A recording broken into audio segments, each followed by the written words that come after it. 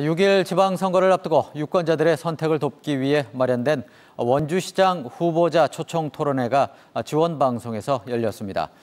더불어민주당 구자열, 국민의힘 원강수 후보는 지역 현안과 미래 비전을 두고 시종 일관 치열한 공방전을 벌였습니다.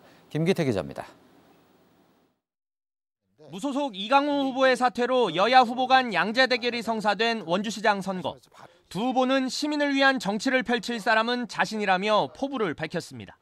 도의 8년 의정 경험과 최문순 도지사님과 함께한 3년 행정 경험에서 늘 사회적 약자 그리고 청년들을 위한 일을 해왔습니다. 소중한 경험 이제 원주 시민들과 함께 일을 하고 싶습니다. 원주시의 성장 동력을 만들기 위해 대기업을 유치하겠습니다. 또 여성과 아동을 위해 안전도시를 구축하겠습니다. 또 교육도시를 만들겠습니다. 시민 건강을 지키기 위해 대대적인 투자로 체육도시를 만들겠습니다. 주도권 토론에 들어가자 거침없는 공방전이 이어졌습니다.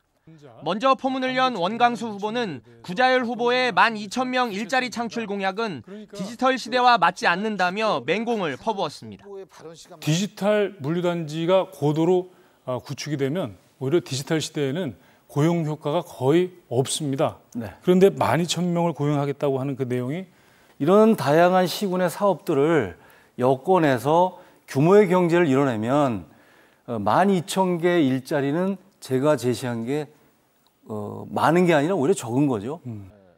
주도권을 넘겨받은 구자열 후보는 원광수 후보의 원주 지역 초등학생 10만 원 지원 공약은 보육과 교육 둘 다 놓칠 수 있다고 지적했습니다. 정책은 목표가 한 가지여야 합니다.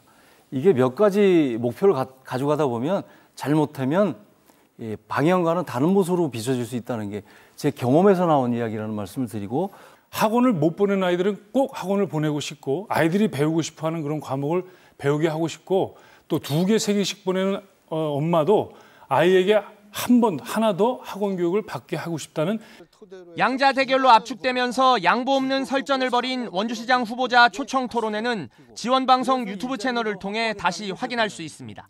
지원 뉴스 김기태입니다.